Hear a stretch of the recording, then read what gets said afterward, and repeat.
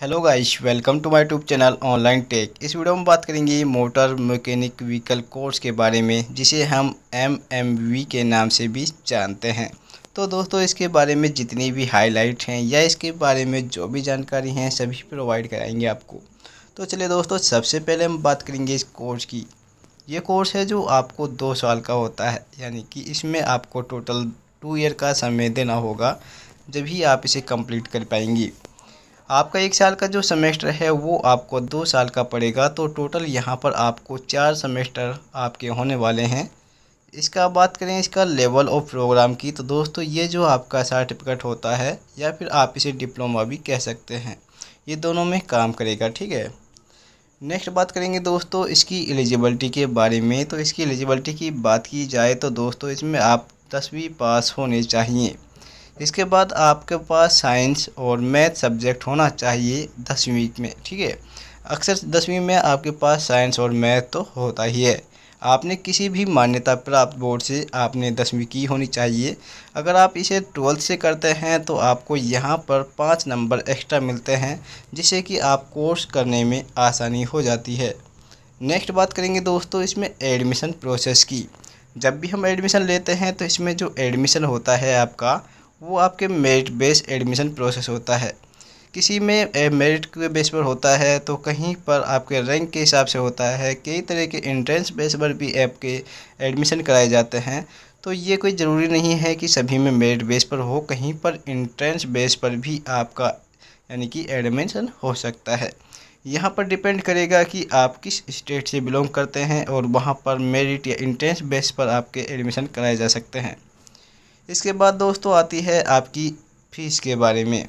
तो अगर आप इसे गवर्नमेंट से करते हैं तो जो आपकी एवरेज फ़ीस होती है, वो अराउंड पड़ेगी तीन हज़ार रुपये पर मंथ यानी कि, यानी जो सेमेस्टर वाइज होती है हमारी, ठीक है पर सेमेस्टर के हिसाब से। सिक्स मंथ का सेमेस्टर होता है जैसे। और अगर आप इसे किसी प्राइवेट से जाते हैं तो ये जो आपकी तीन हज़ार फ़ीस है, वो बढ़कर हो जाती है कम से कम दस हज़ार से पंद्रह हज़ार रुपये पर मंथ, यानी कि पर सेमेस्टर के हिसाब से। ठीक है दोस्तों? यहाँ पर आपको सोचने वाली बात है कि अगर आप गवर्नमेंट से करेंगे तो आपको बहुत कम फ़ीस में आप ये कोर्स कर सकते हैं। वहीं अगर आप इसे किसी प्राइवेट से करेंगे तो यह आपको पंद्रह से बीस हज़ार रुपये तक का पड़ सकता है। नेक्स्ट बात करेंगे दोस्तों एवरेज स्टार्टिंग सैलरी के बारे में। तो इसमें जब आप कोर्स को कर लेते हैं तो इसकी स्टार्टिंग सैलरी क्या होती है? तो यहाँ पर आपको शुरुआती पंद्रह हज़ार से बीस हज़ार रुपये पर मंथ के हिसाब से मिलती है। और जैसे जैसे आपका एक्सपीरियंस बढ़ता है, उसके साथ ही आपकी सैलरी भी इंक्रीज होती रहती है। ये भी डिपेंड करेगा कि आप कौन सी कॉलेज करने के बाद आपने पढ़ाई कैसी की है और आपको कितनी नॉलेज है और साथ में आपने कौन सी कंपनी में जॉब कर रहे हैं, ठीक है? अब बात कर लेते हैं इसके कुछ एडिशनल यानी कि डिटेल के बारे में, जैसे कि ये कोर्स आपको दसवीं से करना होता है। इसके बाद आपको यहाँ पर आपके सब्जेक्ट में कम से कम दसवीं में चालीस परसेंट एग्रेट मार्क होने चाहिए। प्लस अगर प्लस टू आपने कर रखी है तो पाँच नंबर एक्स्ट्रा मिल जाएँगी। दोस्तों, सबसे लास्ट में आपको बता देता हूँ, बहुत सारे लोगों की कमेंट आती है कि भाई उनके बारे में बताया जाए कि इसमें कितने सेमेस्टर होते हैं तो यहाँ पर आपको टोटल चार सेमेस्टर मिलेंगे और चार सेमेस्टर में आपको अलग अलग सिलेबस भी मिलेगा, ठीक है? ये आपको यहाँ पर इसकी वेबसाइट पर देख लेना है। अब बात कर लेते हैं इस कोर्स को करने के बाद करियर ऑप्शन और जॉब प्रोस्पेक्ट की। तो यानी कि आप इस कोर्स को जब कर लेंगे तो कहाँ पर जॉब मिलेंगी और किस टाइप की जॉब मिल सकती हैं?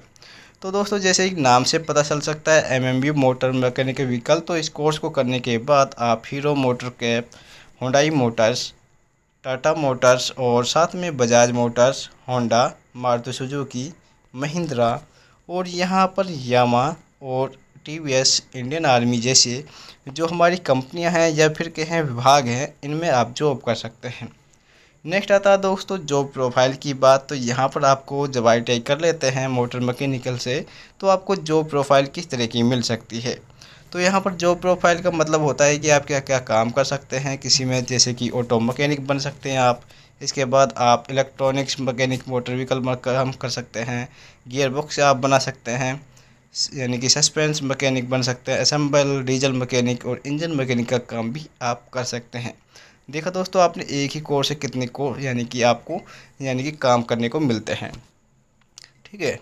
अगर आपको कोई और जानकारी लेनी है दोस्तों, आप हमें और भी जानकारी बता, आपको मिल जाएगी तो आप हमें कमेंट बॉक्स में कमेंट कर दीजिएगा। उसके बारे में हम आपको ज़रूर जानकारी देंगे। वीडियो कैसी लगी, कमेंट बॉक्स में कमेंट करके ज़रूर बताएँ। Thank you for watching this video.